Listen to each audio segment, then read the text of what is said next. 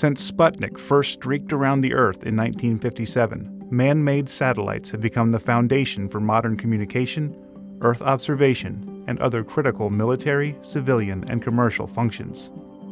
As satellites become more numerous every year, a threat grows with them man made space debris, including spent rocket stages, defunct satellites, and fragments as small as flecks of paint.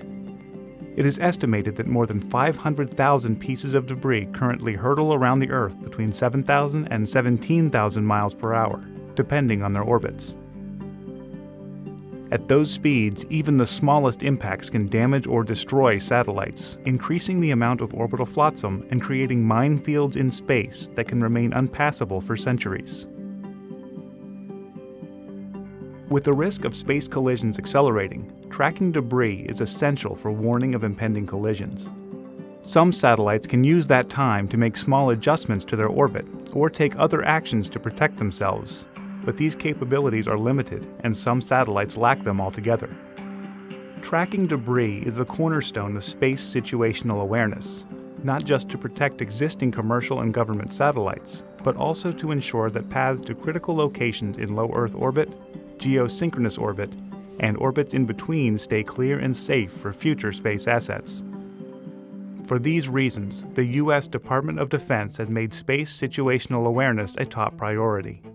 The historical steward of this responsibility has been the U.S. Air Force, which operates the U.S. Space Surveillance Network, a worldwide network of 29 military radar and optical telescopes charged with observing and cataloging space objects to identify potential near term collisions with orbital assets.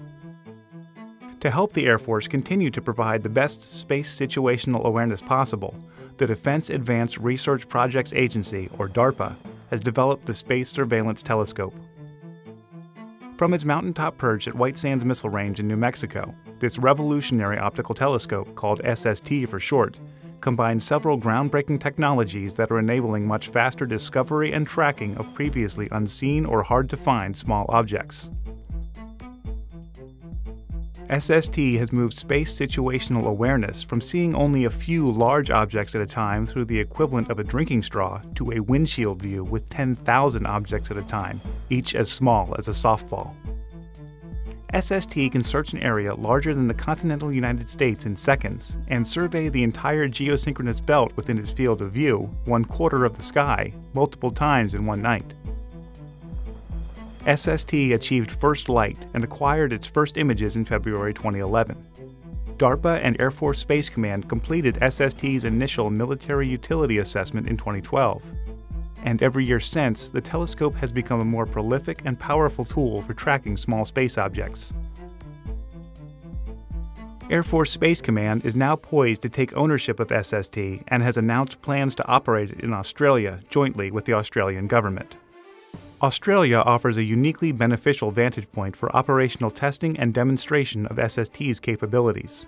From its new home, SST will provide key space situational awareness information from the Southern Hemisphere, an area of the geosynchronous belt that is currently sparsely observed, to the Space Surveillance Network. SST will also continue to provide NASA and the scientific community with surveillance data on transient events such as supernovas, as well as potentially hazardous near Earth asteroids. In preparation for SST's move to Australia, DARPA has upgraded the telescope's camera, faint object detection algorithms, and search speed to make it even more effective.